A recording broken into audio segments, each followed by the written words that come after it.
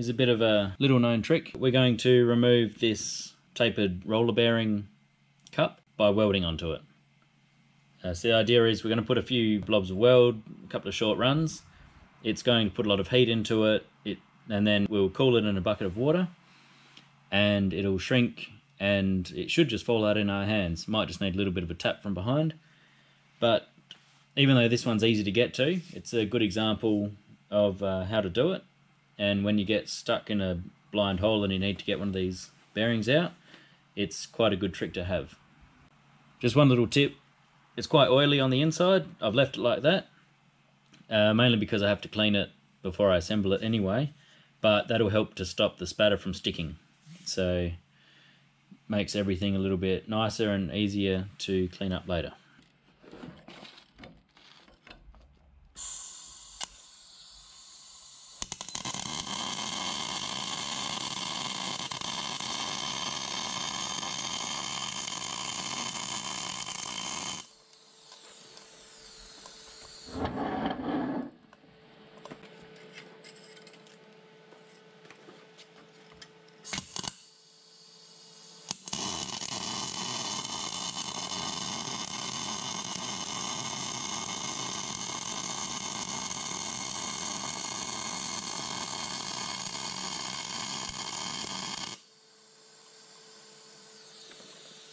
So that's it there.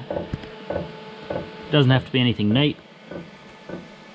I've just gone halfway around. It's a fairly decent size bead. Just dunk that in a bucket of water, which is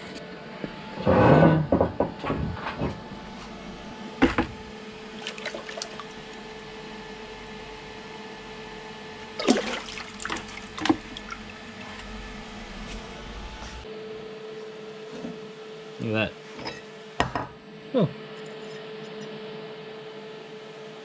That's a surprise. Oh, there we go. Came out by hand. Perfect. It's that easy.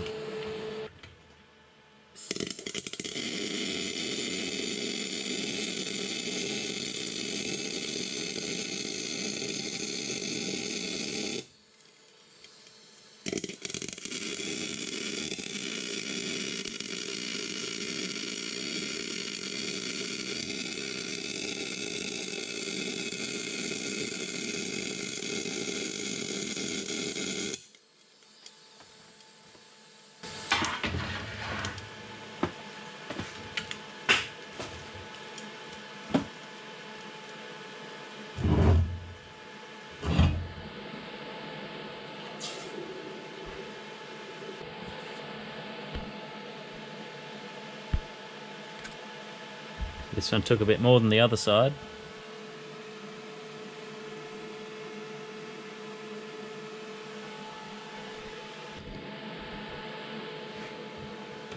But now it's loose.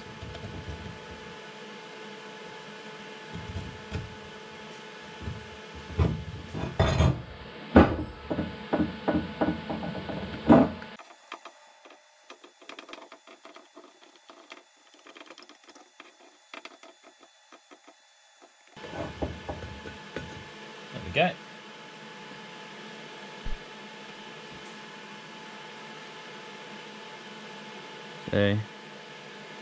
Just went halfway around on each of them.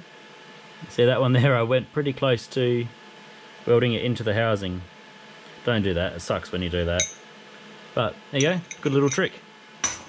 Did not have to use a hammer. Thanks for watching, I hope that helped. And subscribe to my channel if you want to see more of this stuff. Thanks guys.